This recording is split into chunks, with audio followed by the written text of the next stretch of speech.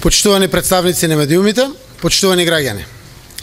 На почетокот, во име на Социјалдемократскиот сојуз и во моје лично име, дозволете најостро да го осудам гнасниот, морбиден, кукавички, безобразен потек врз новинарот Боријан Јовановски и неговото семејство. Да се испрати погребен венец на домашна адреса, на представник на медиумите, професионалец и отворен критичар на загрозувачките обшествени тенденции што и се случуваат на Македонија. Е црвен аларм за сите свесни и совесни луѓе во нашава земја, за лудилото во кое што е влезена власта и оврската што заеднички ја имаме да го запреме тоа лудило. Од страф дека се фатени во злоделата што ги нанесувале, ова тесна група на власт се однесува бесно и бидејќи не знаат на друг начин да ги решаваат проблемите, повторно се користат со единствените методи што ги знаат. И спровоцирај меѓуетнички тензии и удри по новинарите и неистомислениците. Бараме оние луѓе професионалци во институциите што знаеме дека постојат и се кршат во себе дали да постапат по собствената совест или да продолжат сервилно да му служат на режимот да се одважат и да постапат според врската што ја имаат како граѓани и како професионалци. Мора да бидат откриени нарачателите и сторителите на одвратниот чин кон Боријан Јовановски и неговото семејство. Сите кои ги знаат и молчат, порачуваме дека се соучесници. Почитувани граѓани, еве по тоа што ќе го објавиме денеска, ќе стане уште појасно зошто на националниот сервис Македонска радио телевизија, не слушнавме ни збор за громорозниот обид за закана врз новинарот Јовановски и неговото семејство. Аудио доказите, што ќе ги презентираме, ќе расчистат зошто воопшто националниот сервис МРТВ пренесува информации кои немаат врска со реалноста. Како избирале новинари кои работат во телевизијата и зошто тие новинари сервилно ја испорачуваат секоја нарачка на груевски власт. Денеска го отвараме пакетот за поклопеноста на медиумите од страна на Никола Груевски и неговите соработници. Овие снимки ќе ја разобличат и директната спрега на релација Никола Груевски приватни медиуми. Ќе ја докажат најбруталната недозволива контрола што ја воспоставил Груевски врзгаздите на телевизиите Сител и Канал 5, Горан Иванов и Емил Стоименов. Синови на коалиционите партнери на Груевски, Любисав Иванов Дзинго и претопениот во партијата Борис Стоименов. Ке видите докаде овие собственици на телевизии се подготвени да се свиткаат пред Никола Груевски по цена не само на интересите на граѓаните, туку и на собственото елементарно човечко достоинство. Само за да му се додворат и да добијат по некој бизнис. Ке слушнете како Стоименов и Иванов ги спроведуваат на рачките преку поставените послушници главни и одговорни уредници на телевизиите Драган Павловик Латас и Лидија Богатинова. И ќе видите зошто на вистината за Македонија и беше проклето тешко да ја види светлината на денот.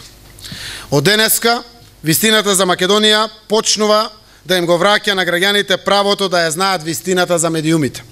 А со тоа и за се што им било одземено како информација. Ке почнеме со државната телевизија, за која што сите граѓани плаќаат радиодифузна такса. И по закон мора да обезбеди објективно и непристрасно известување. Но наместо тоа е претворена во уште еден штаб на Никола Груевски. Во првиот сет разговори, Ке слушнете како Јанкуловска, како кај Јанкуловска постои списоче не само за судии, туку и за кадри во МРТВ. Договорени и тоа лично со Никола Груевски. Овој човек, премиер, поставувал дописници на МРТВ во Вашингтон и Атина. Ке слушнете разговор меѓу шефот на кабинетот на Груевски Протугер и Гордана Јанкуловска што открива дека предлозите за новинарите во МТВ доаѓале од општинските комитети на ВМРО ДПМН. Ке видите како ова сурова власт се однесувала кон новинарите на А1, што ги остави на улица, откако ја затворија телевизијата, како тие луѓе на кои им е одземена екзистенцијата. Преку баци рака, како што се изјаснува Мартин Протугер, се примени во МРТВ. Ногата на власта нагазила длабоко во МРТВ до вработување новинари во спортските редакции. На крајот од овој разговор ќе слушнете за банкротот на Радио Гостивар и налогот на Груевски кон Киевски случајно да се разборичка и радиото да заврши во рацете на Унијата на млади сили на ВМРО ДПМН. Еве го првиот сет на разговори.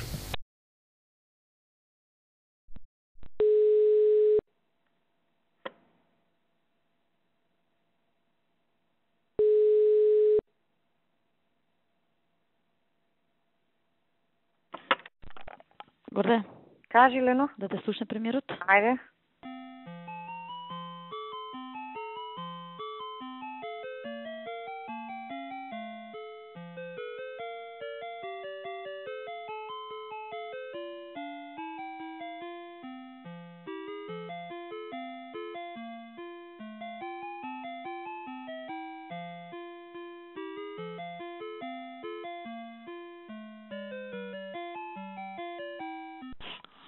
Ало, Амо, да.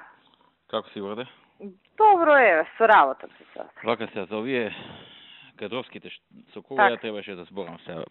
Само Имаш секунда. тебе Да, да. Пред тебе ја имам нешто бележено, Да, да, јас си го имам тефтерот, одма се е кај мене прецизно утврдено, само да утврдам. Значи, а, ај вака од почеток, како што ги имавме запишувано за дописнициве, за Ваш- Вашингтон и Атина, нели рековте уште еднаш ке зборите со Марина Христова за Атина, а, евентуално Антонио Спасев и Борче Стамов. А, следно, сега ги одам поред да не пропуштам некој. Добро, вие кај што сме имале дилеми и кај што имаме време не, не ги спомнувам.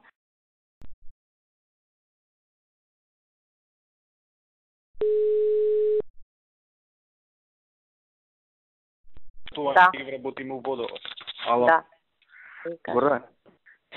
кажи. Е, абе, а, ова за огласот за МТВ. Добро. Ја мислам да го поништиме, зашто се полунормални луѓето што се вако. И ние се ако сакаме да јакнеме МТВ, да внесеме луѓе проверени што ќе ги видиме, ќе знаеме кои се ќе... Ама у тој случај ние треба да расчистиме сами со себе. Или ќе пуштаме од комитети предлози, или ќе јакнеме ка- капацитет. Најчесто не одат заедно тие две работи. И ќе јакнеме капацитет и ќе пуштаме од, од комитети. Пошто па вие се од некој- комитети. некоја емче тамо, некој вакви, знаеш, некој не, не, не, анонимусишен. Ако е за вработување, тоа ми викаме, да е у водовод ќе ги вработиме. Не може новинари да видат. Тие се од комитети предлозите. Тоа Добро, е може, Ќе ги квалитет. одбиеме, ќе го поништиме овосот и ќе Добро, како сакате. Како што треба. Мислам, ја имам обврска која ќе има оглас да ги известам комитетите да дадат предлози. Да. Да ги поминеме на кадровска, така не можам ја да им викам на Се комитетите. согласуваш ли со, со мене тоа? Овој ти е мало умен, без разлика што го мислам тоа. Се согласуваш? Види, јас генерално мислам дека ние курсов малку треба да го смениме. Да. Значи, не, не само за овој област, а МТВ е на дневен ред. Да, Ние ги преполнивме институциите, со, со неспособни луѓе. со луѓе што не се за таму, може таа емче за нигде ја бива. МЧ може, МЧ у фитосанитарна може да иде. Не бе, окей, мислам, секој човек нека си ја најде среќата. Да. Ама ние ги Не преполнивме... може се, зошто е новинар, зошто имал желба. Јас сакам Па пилот. тоа да. ти викам. Ние ги преполнивме институциите на база на нечија желба и сега како бројка никој не може да рече немам луѓе. Пошто сите имаме и поише од колку што ни треба. Да, да. Ама како квалитет немаме. А од друга страна курсот е овој што ти кажам. Искача оглас, пусти комитети. Таа е понудата. Добро, го менјаме, од се тргаме. Поништување, ја ќе му кажам и на председателот и готово. Кој се причините, ќе се согласи. види, он, он јас за- сум зборела со него, мислам за генералниот курс,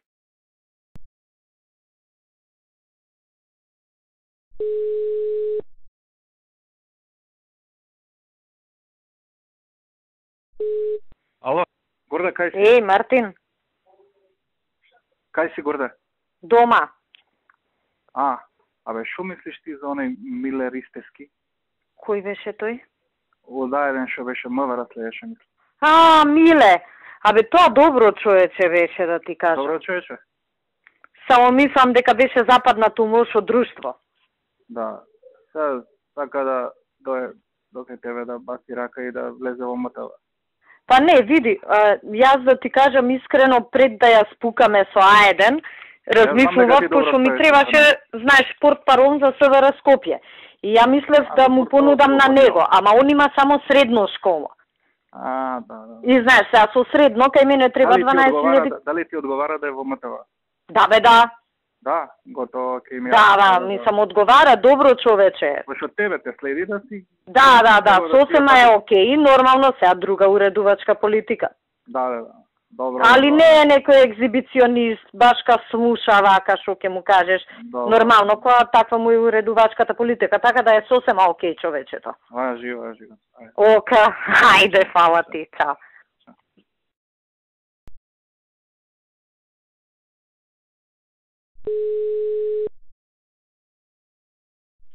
Ало? Ало, Е, здраво, Маријан. здраво, у куќба денес?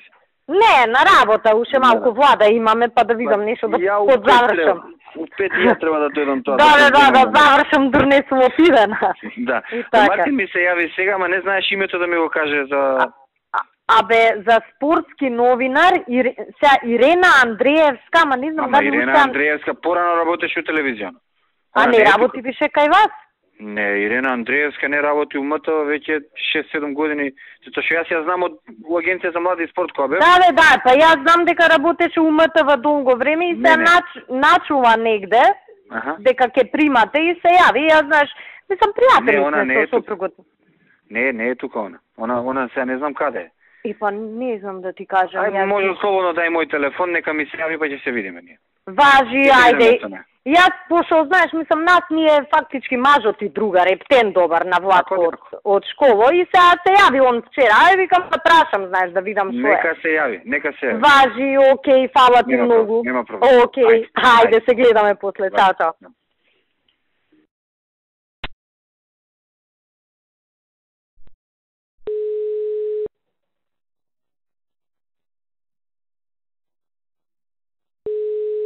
Ало. Пита чуе премиерот.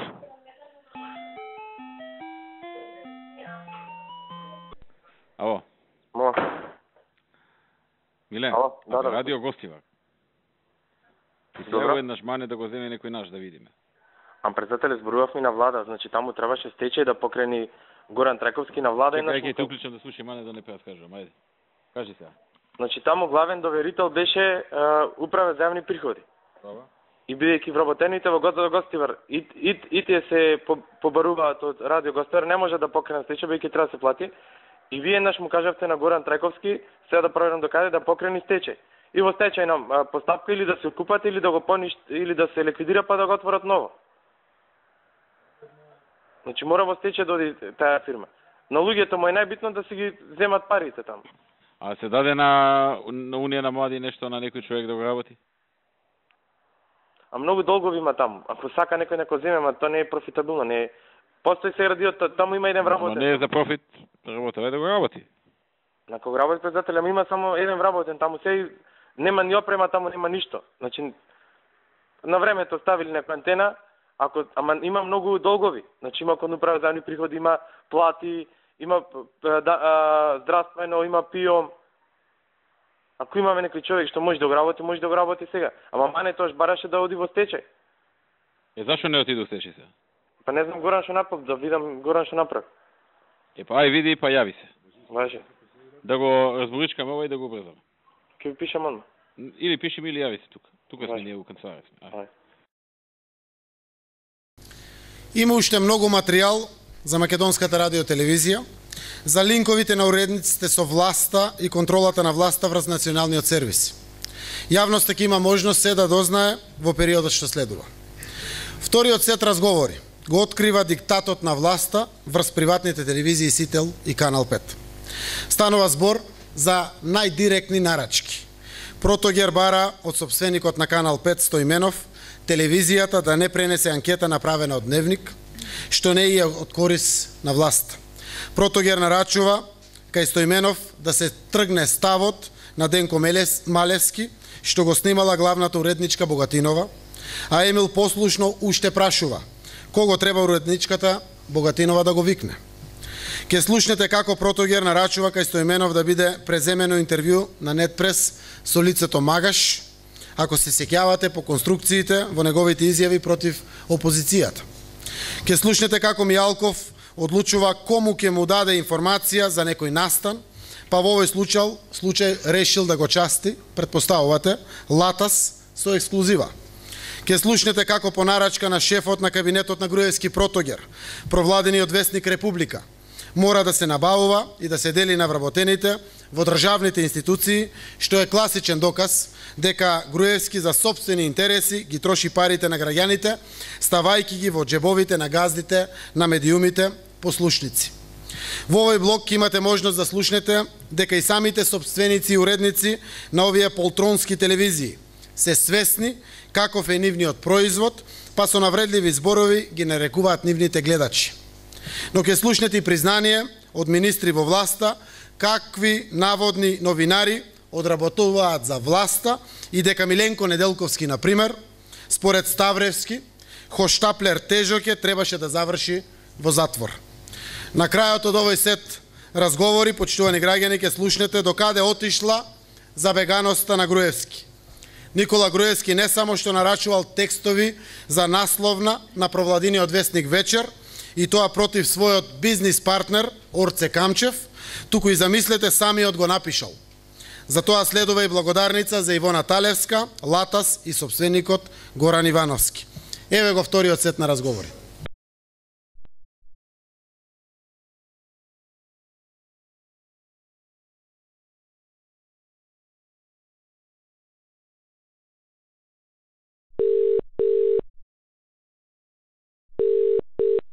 Ало, Ало, е, Мартин. е, ема здраво.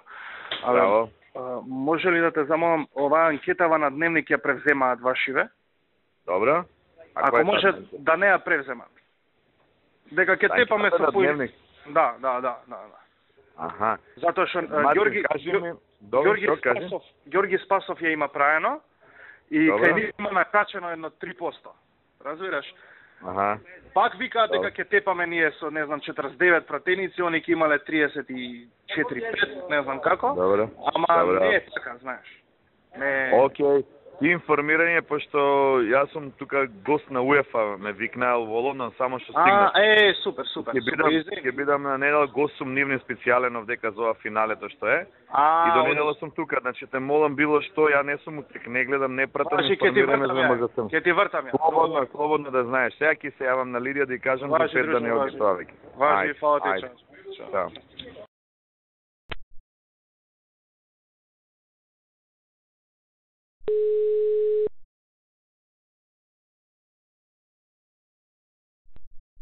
О, Емил, е, повели. што браш како си? Добар е, еве тука до едно место, звени луѓе да се видам. Ти? Добро бе, добро, бе, по работа и така. Аха, Абе, за, Повели. ова, за тужбата денеска е актуелна. добро. Која тужба? Ова со Грција. А, добро, добро, добро. И а, оваа Богатинова го викнала овој Денко Кој? Добро. Ки кажам да го тргне, добро. И овој објаснувал тамо А кај го викнало, не разбирам. у вести и тамо давал изјава. А кога тоа? У 9. Е, у кој вести бе? Е па не знам сега, така ми пиша овие. Мој бе. Вика го, викнала Денко Малески, Богатина. У 3 има вест. Ајде ја сега ќе се јавам одма. А Да. што објаснувам тоа го видам? Па дека дека и, и двете страни имале требало да се реши спорот со Грција, не, дека тоа покажала пресудата, Абе, и тоа дека не двете страни имале добра волја и треба така да се оди кон решение. Добро, и да го ќе кажам да го трнете општо да не го пушта, кој треба да го викне? Да. Не бе некој без разлика, некој нормален. Добро, договорено. Што има исчитано пресудата, знаеш. Добро, јасно. Ја ја немам ја Ние, ние пративме брифинг до сите, Добро. до сите медиуми, вака што Добро. се тезите Добро. на што се важни за нас, знаеш. Добро, договорено. Да. Готово, Океј. јас сега ќе се јавам у момент. Одној се јавам. Важи, важи. да. Ајде, друже, поздрав, чао.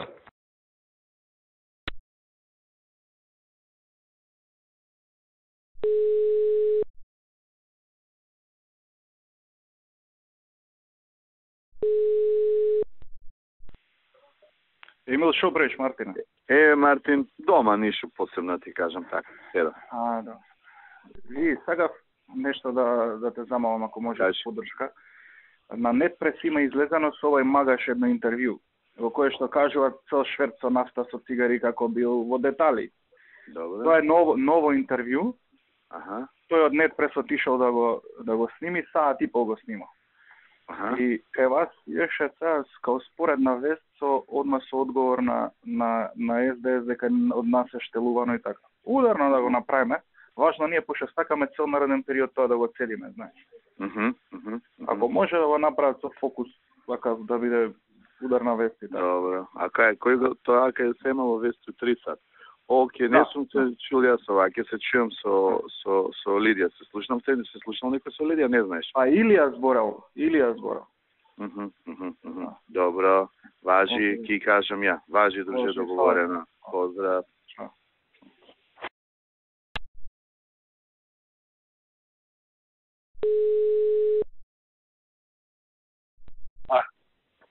Само да знаеш, кажа да не кажуваат на другите, за внесување, само ваша камера ќе има. Увам уверен Освен ако некој не дознае од други извори одека, знаеш како ти е сега тоа. Да, да има после тоа. Секој си има некој... чувари. Не бе, секој... Не, умавара тука имаш клинични овие. Знаеш, новинарите си имаат по некој. Не е проблем, не е проблем. Али не е кажано, ја реков, сакам латас да го частам, викам да има ексклузива за влагање, а за излагање ќе има и други. Добро, готово. Така да знаеш, да имаш ти нешто, да имаш така. Поеше. Само ти, да. Важи. Уеден ќе го носат од напред. Значи Од напред го несат, да. Добро, добро. Ај. Ти кога идеш на одмор? Ја едам у четврток на пат, ќе бидам на пат и после не се враќам од таму директно ќе продолжам. Добро, добро. Да знаеш. Ај. Важи, чао.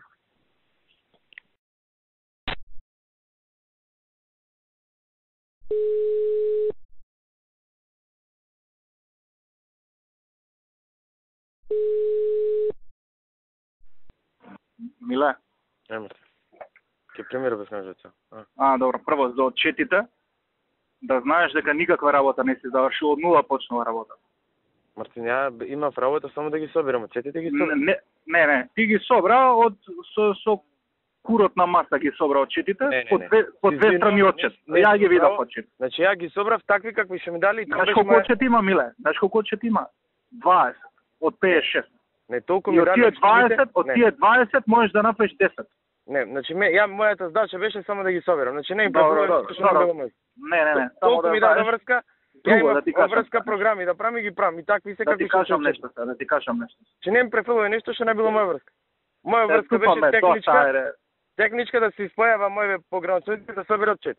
Тоа беше. Прасе, договори с Прасе наредна недела, значи Не, нема... многу ме нервираш кога ќе ме напаѓаш без основа. Не ти е прв пат. Се. Ќе видиш како се изгледа чета на центар што го правам јас. Слушајте, наредна недела, среда четврток прасе правиме, ја договорив и кафана и све. Е па се петок рече. Земи го, не, ама не можам, стварно, треба треба да одам најверојатно до Хридка. А, а, Република Вестников ти го нарачал во еден примерок. Во три му реков да го нарача. Само еден си нарачал. Добро, че го зголем му. Не, зголеми го на 20. Немам, не можам 20, немам толку вестници ни еден, не. Ќе го знаеш по канцеларии, бе? Добро, тоа ќе порачам максимум колку ќе имам секој, колку ќе имам максимум толку ќе порачам. Да. Кол, кол, не, абе, гледај максимум што можеш. Најмногу што максимум колку ќе шујам вечер и вечер колку ќе имам толку ќе имам република. Ај. Максимум, максимум, не, да не се 5-6, него максимум. Добро. Ајде, чао. Ајде, ајде, чао. А слушај, ја вие нашиве полуписмени што гледаат дневници му се на Барке, Барке вика, абе, дали ли рековме да не ги пуштаме, вика, активностите на опозицијата? Викам, кој ги пуштил? Ма сега ме вика ти долу. Викам, ти ти кажа ли што, не му кажа што е, а, па тоа сасвим друго. Толку, е, толку сеча тоа, не бе. Активностите на опозицијата. е, глупост. Па ти ја му викам, он ми се сега, викам човече, ние уопште не ги покриваме, нема нула. Као да не постојат. Океј, сака да оди на он на Милке Миленко, нека оди.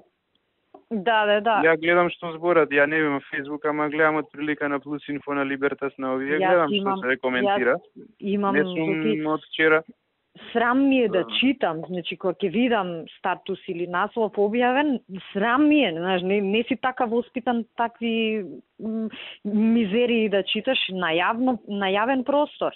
Најниски вулгарности за мери, да. Мислам каква сака нека е, ти не можеш да, да и го нарушуваш достоинството на тој начин, кој ти дал право за тоа? Да, бе. И се друго. И некои такви. Абе го знам човекот е хоштаплер тежок. Мамо граѓанштина. Тој требаше у затвор да заврши и Да, да, да. таму му беше местото за тоа што го прави. Абе, ајде. Добро, нека оди фаворитот. Фаворитот бе, да. Да. Пошто он се жртва ќе се представи. Нека тера доста. Нека тера ти е гајле. До, по мене добра одумка. Како што треба баш. Ајде, се чао. слушаме, се гледаме. Чао, чао.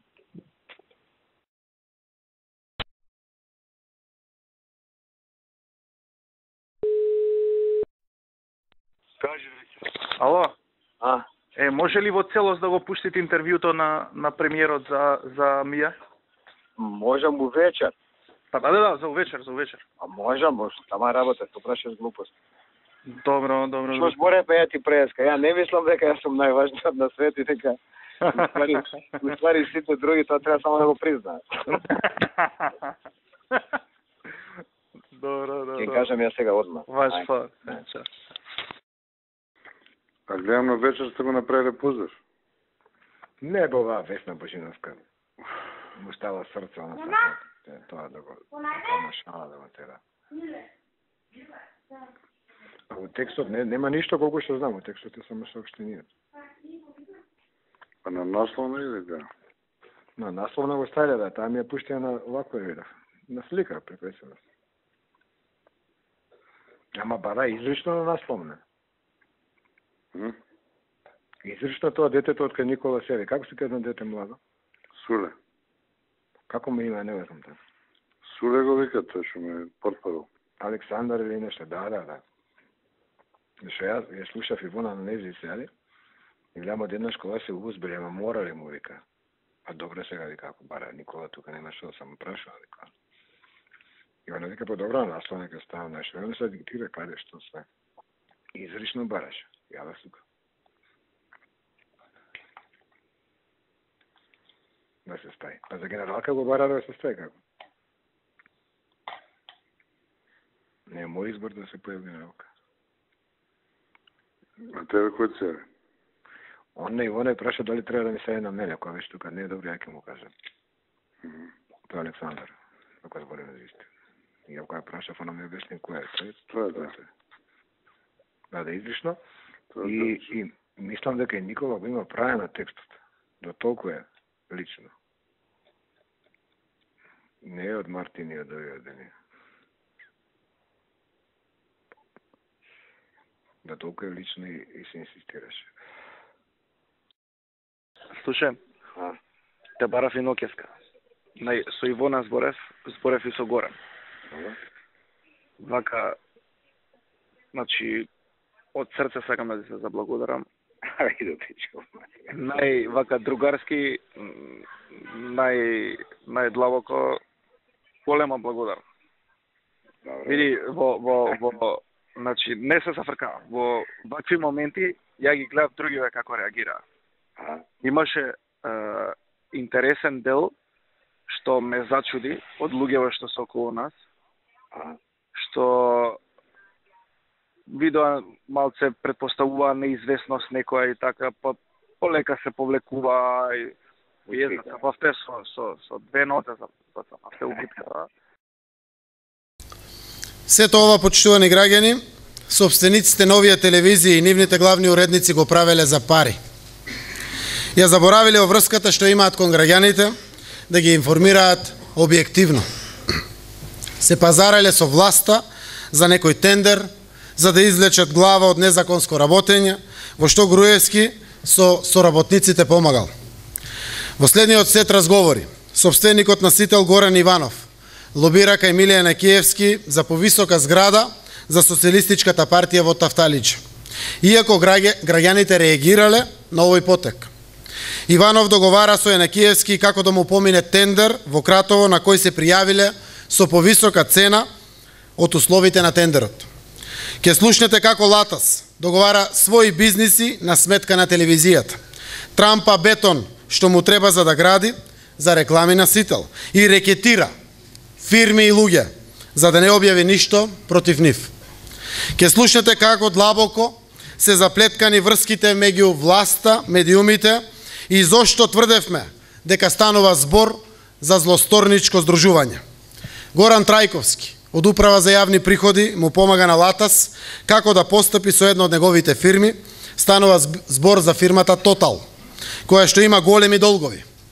Како директорот на УЈАПА, кој стави клуч на вратата на еден телевизија, Горан Трајковски замижал и за работењето на Стоименов, за кое што работниците на УЈАПА нашле забелешки и по налог на Груевски и Трајковски се согласил записникот да биде направен според забелешките што ќе ги напишеле правниците на Стоименов од нивниот семеен консалтинг. Ке слушнете и признание на Стоименов дека само за една фактура за испорачени услуги кон власта треба да плати данок од 400.000, поради што бара помош од Протогер. Што покажува со колку со колкави суми пари Груевски корумпирал медиуми за лични и тесно партиски цели. На крајот ќе слушнете како главниот уредник на Сител ја сместува жена му по директна интервенција на Груевски со измама на сметка на друг човек во предпријатието Гама на позиција со плата од 1000 евра. Груевски го реши во 5 минути. Гордо се фали Латас на Иванов. Еве го третиот сет на снимки.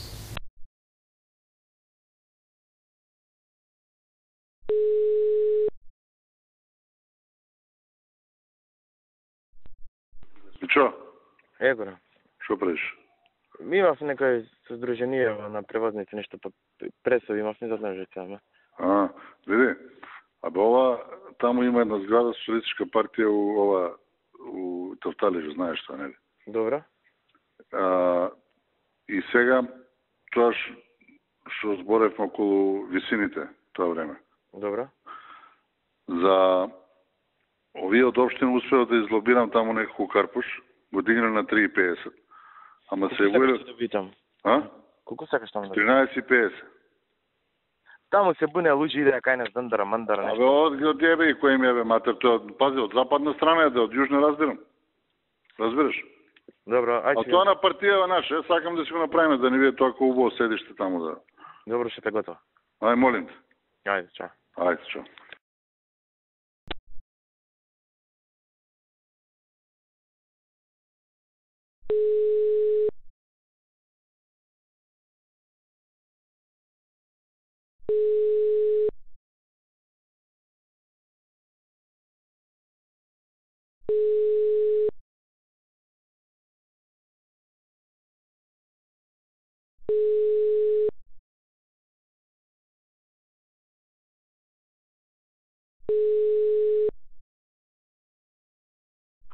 Да.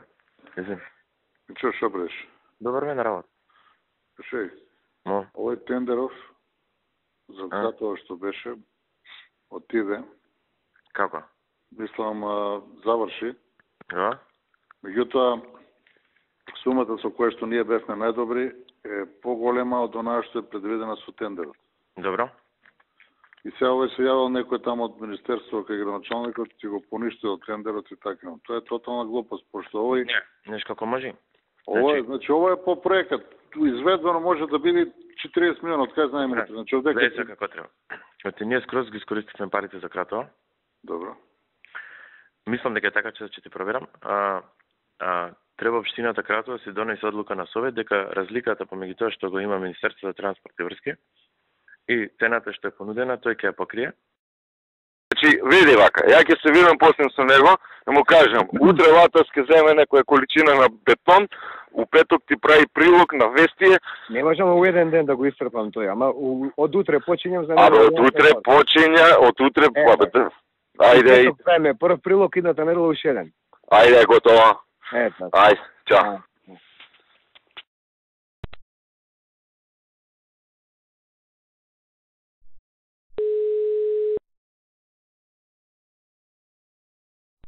Ајде, директоре. Уредниче, што бреш? Еве бепе со директоров мој тука во една банка по реклама и се искачам. А, абе ми требаш нешто таму да ти кажам за еден човек да не го рчкаш нешто. За кој? Ќе ти кажам да се кај сте да дојам да ве видам една минута. Е, нема ја се идам дома ручек да носам чекат. А да дојам таму пред зграда кај тебе, може? Абе кажи ми само што ќе се киреш ме. Овој ми е другар ептен добар, само ги закачаш на оној пуцко од кичево син му. Кој е, кој е тој? Со што се бави? Со нафта што имаат бензински, Пуцко, Пуцко. Петров. Да. На Велија Рамковски спонзорот. Абе како спонзор немаат ништо со него више. Може ли они со нас да реклама да направат све да завршиме? Ќе направат све што треба, ќе го донесам кај тебе. Син му ми е, види, син му ми е тен, до- добар другар. У понеделник може да го донеси. Ќе го донесам и сега У понеделник ја ти ќе направиме до муабет Да со ти него и вторник завршам. Не, не, гледај. Знаеш што е работата? Денес у транспорт и врски имало јавна лицитација, си купиле место Скопје за бензинско ново лисиче, на надавање си ја купиле. И викате, молам, вика да му кажеш да не не плюка нешто, да не ни заеме. Добро, работата. добро, ја денеска тоа ќе го завршам. Значи денес само ништо да нема у понеделник ти го носам, ќе видиш за какви Готово е, се моето ќе го завршам, готово, не се кире. Ајде, ајде, ајде.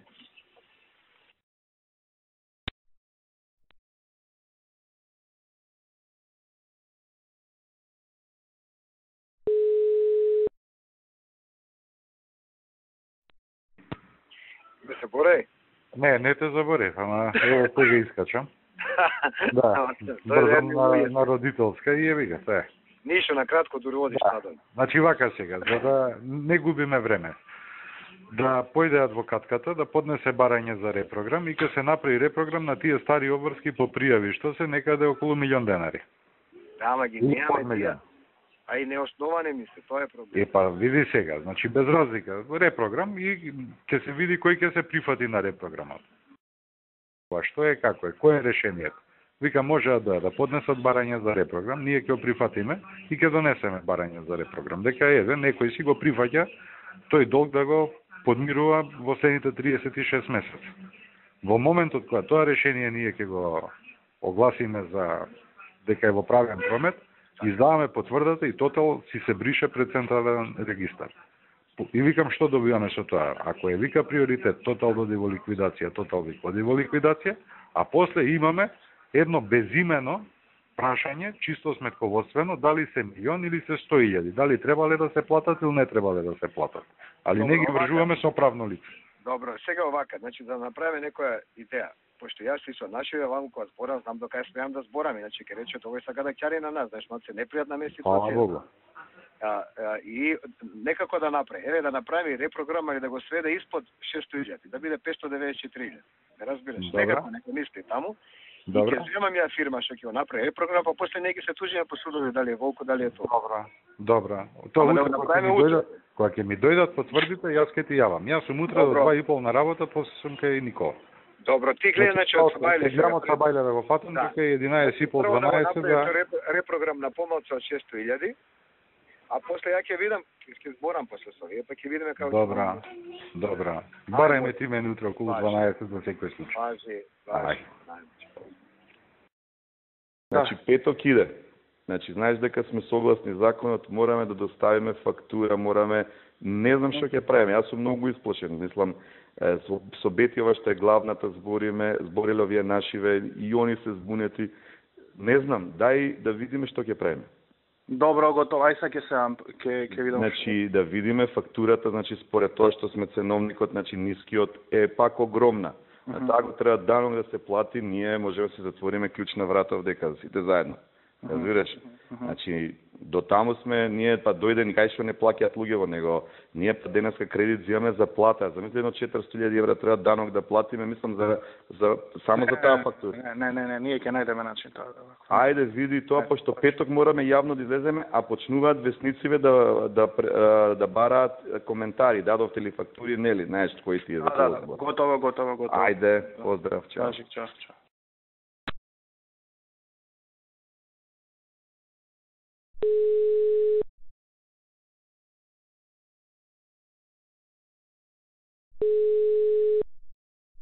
чао. Ало? Емил, што правиш? Еве, Мартин, да до работа дојдов ти. Добро бе, добро е работно. Па сега зборев со премиерот, ова Лидија ми кажа дека проблем со пак со овој Горан има некој. Премиерот збореше со со Горан Партали го напред, да знаеш. Значи вака јас сум Партали, пошто овој кога сте биле заедно му рекол под контрола е работа. Да. И му рече што ти значеше таа под контрола, тука пред човек ти се евам, вика ме ставаш во ситуација, не значи тоа од 300 на 200 да се намали под контрола е работата. И Партали го направи. А, сакаш ли да се видиме ја и ти заедно да го бараме Горан или јас да а, уште еднаш да му се Ми речи ти јави му се обавезно, ја да му се сега. Ајде, јавиме И- се. Јас се слушнав. Кажи ми од твој агол каков е статусот, што треба да се направи за да се затвори тоа? Види, јас со него Јас со него а, разговаравме, а, ме викна кај него канцеларија, разговаравме. Ми рече Емил, еве, еве го записникот овие моите кокошки што нашле, пошто предходно па ме викна ми кажуваше дека они може да се пишуваат што сакаат, он си е тој што ќе си го реши проблемот, разбираш? И ме викна таму, викам Горан, слушај вака да каже, две работи да знаеш. Значи, јас да сум направил, да, да, да, сме направиле нешто, не сме направиле ништо, да, така е. Проблемот е, викам, што ти, ти дозволивме да влезеш во инспекција кај нас после 6 години од поминат период, е сега кога ќе ставиш на било што камата, тоа е пута 300%. И викам, значи, сума како пари изгледа голема. И он ме вика, еве ти го записникот, те молам, пошто вие имате стручни екипи вашава фирма, консалтинг, направи ми ги сите забелешки, како ќе ми ги направиш забелешките, јас така ќе го прифатам записникот. Али на Горан Бошков морам да му се захвалам за живот, му учино голема работа не сакајќи. Ми вика, ја барам од никога, викам, дај негде, ја не барам ништо, викам, дај негде мери да ја ставам некој управен одбор на вака така, знаеш. И не сме нашли. ово година дена, два три пати сме зборали, имаш ли идеја? Не, викам, ако ти кажете. Горан Бошков доаѓа и ми вика, абе, ти стоиш добро со ниц, мене да ме изберат повторно, а него го избрал совестно да порано. У одбор на директори вика, кај што мери се у гама. 1000 евра вика плати. Каде? У гама. Колку е 1000 евра? Ете века викува зборен за мери, одму пет минути го реши. Се јави таму, не знам на кој беше. И од утрента ја туре у процедура. И после месец дена ми се јавува, па добро, ме не е срамота ја за мене, ти кажа, па а бе, вика ме, века парка работа. Кажа, хајде. А што не ми кажа? Па века не знам више, не знам дали ќе биде.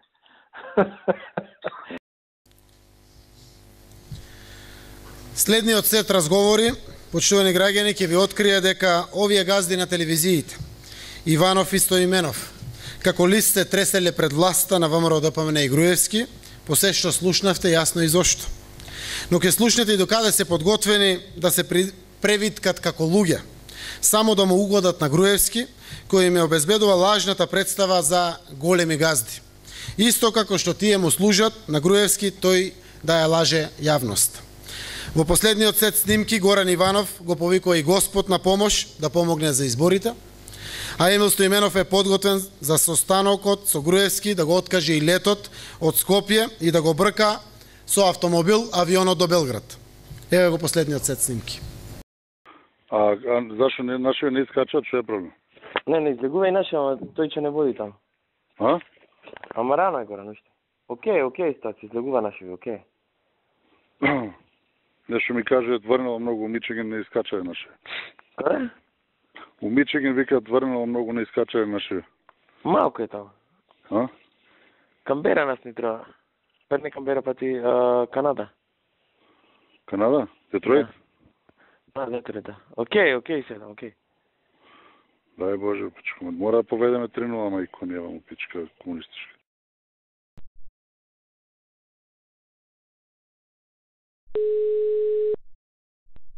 Прегора.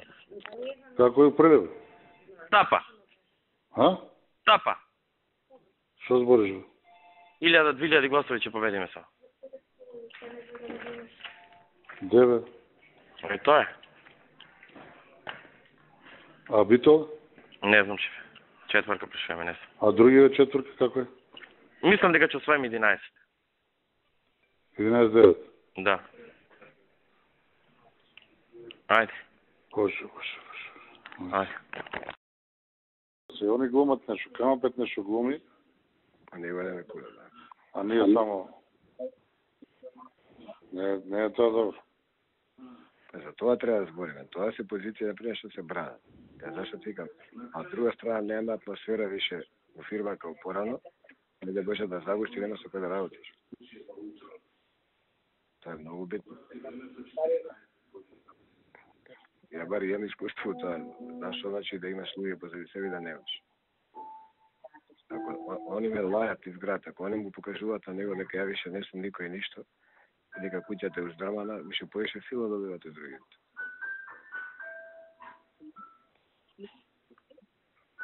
Абе, ние не сме уздрамани, него ние едноставно слепо све исполнуваме што побараат до секој секунд.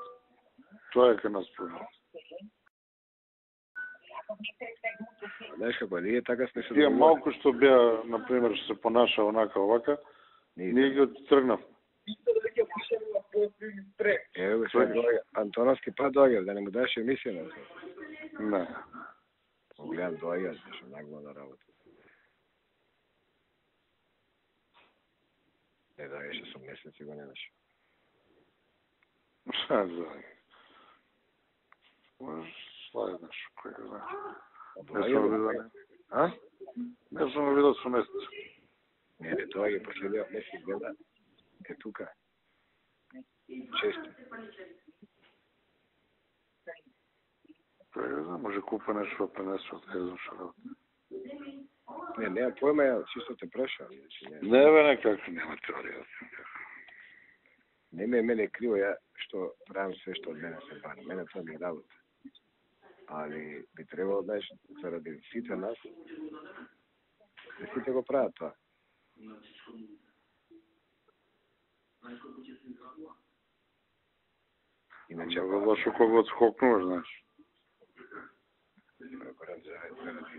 Аха? сите, сите избориш, ти не може да изгубиме утре избори. По такво понашање на канал 5, такво понашање на МТО, такво понашање, од тоа го гледам. Иначе јас сум рекол дека ќе направам, тоа и го правам. Не се осеќам подценет или понижен заради тоа. Но другиот ми наноси штета и на мене, не само на никога. Таа смисла зборам за една. А сега овие алфа не сум видела како се они понашаат. А, рано е чека таму. Таму месеци треба да поминат, прво да видат кој е газда реално. Знаеш, друго, е, друго е вака на па, па да се променат уредници, па састанци, па чули.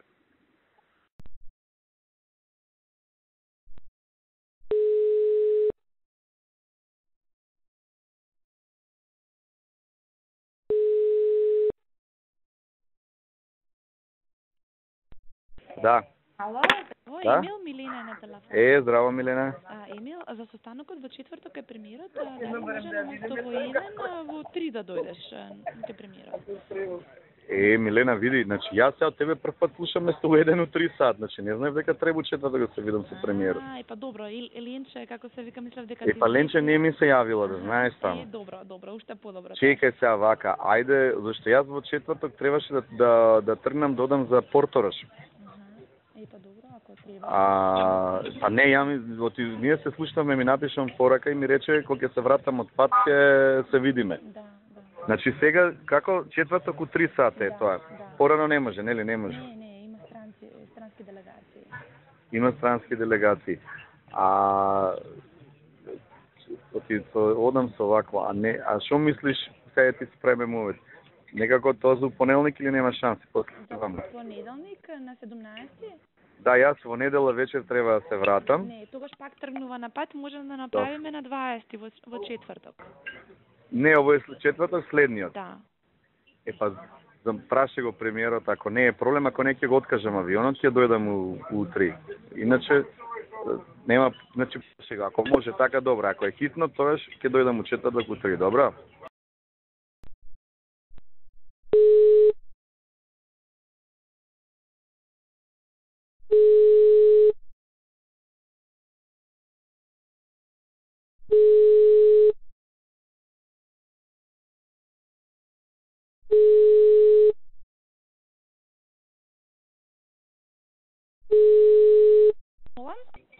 Емила на телефон, Милена. Да, Повели. Ајде, ќе нај- знаеш што ќе направам? Ќе дојдам во 3 ако ти си сигурна дека тоа во 3 ќе биде. Ќе ме чека кола, ќе се видам со премиерот и после од Белград ќе го ќе ме носат до Белград, па од Белград ќе летам. Ќе фатиш авион, па Ќе фатам авион од Белград место Скопје, така да ако случајно нешто ќе излезе и порано и порано само јави ми се, ама е, нека биде ако биде во 3 за да стигнам вечер у Белград до 9, важи? Важи, ќе стигнеш секако да. Е, сигурно, важи. Фала ти. Поздрав, чао, чао.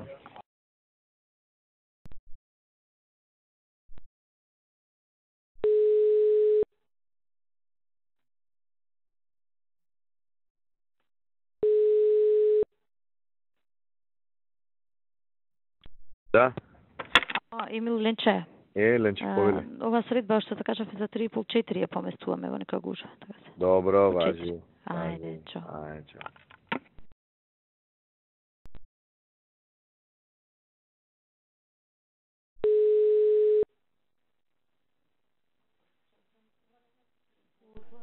Ало, Ало, Емил. кажи Ленче. А, за пет те, те одлагам се. Добро. За пет. Не виде не гужви сме. Да. Да. Е, па, Ајде, па види дали ќе стигнете. Ајде, Ајде, чао.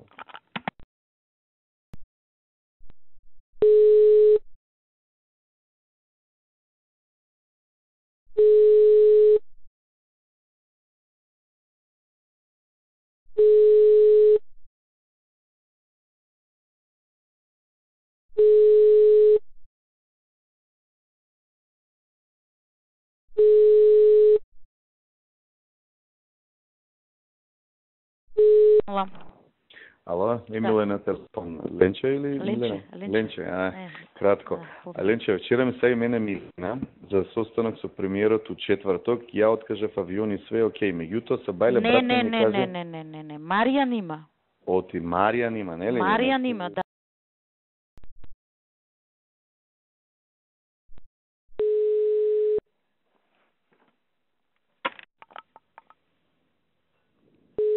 Ало, Ала. е, Емил Ленче. јас сум шоп. Повели? Мислев да не заборај. Не, абе чекај сега да ти кажам, нели за у четврток у пет и пол ми рече? Не, не, не, не, денеска. О, о. Денеска во пет. Ја па свикам утре са бајле ќе ти се јавував да те да те прашам Не, дали не, не, не, не, не е помрдното, така се во, во пет сат денес. Денеску 5 сат. Да. Не, иначе ја знаеш дека не заборам. Баш сега сум пред 20 минути па со Мартин зборев за нешто друго се договаравме и викам утре ќе одам кај премиерот. Ај, Не, што да бре. направам да идам да се значи ми требат за да дојдам ми требат едно да идам дома само да пресобле да облечам панталони да дојдам. Толку ми Добро, треба. ајде те чекаме. Важечки ли е тоа? Како не е важечки, те чекаме, ќе се деранжира цела програма. Ле, ле, ајде, ајде, ајде. Што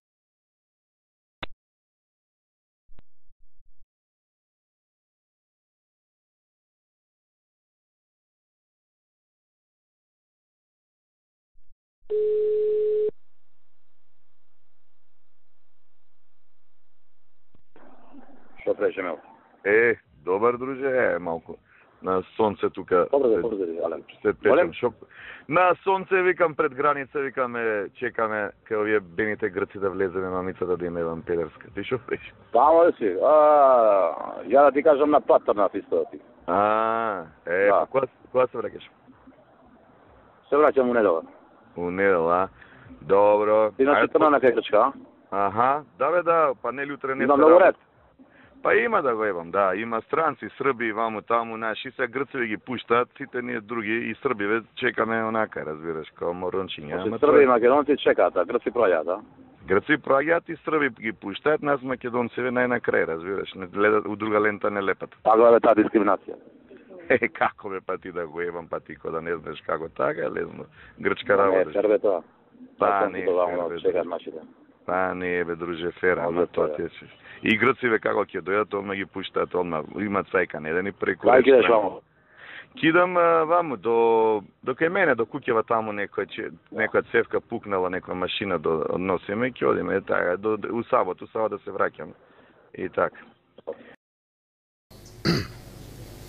Ова лицемерие, овие докази за вулгарна, незапаметена, недозволива окупација и злосторничка коалиција на Груевски со националниот сервис и приватните медиуми во Македонија се класична потврда на сите забелешки, не само на опозицијата, туку и на меѓународните институции и организации што изразуваат загриженост за слободата на говор и изразување во Република Македонија. Очекувам од, од, од утре или од денеска да се промени конечно оваа политика на приватните медиуми Канал 5, Сител, МПМ, а посебно на Националниот сервис Македонската радиотелевизија. Како председател на опозицијата која што правото го имам и по устав и по закон, барам идната седмица да обезбедат термин заедно сообщение за доказите и аргументите кои што ги имаме. Која ќе кажат тие, тогаш јас ќе бидам нивни гости. На ова зло, почитувани граѓани, мора да му дојде крајот. Да не дозволиме ова зло што и се случува на Македонија никогаш повеќе да се повтори. Порачува. Венец ки има, но венец на слободата и демократијата во Република Македонија. И тоа многу брзо ќе го добија тој венец Никола Груевски и неговиот режим на кој име дојден крајот.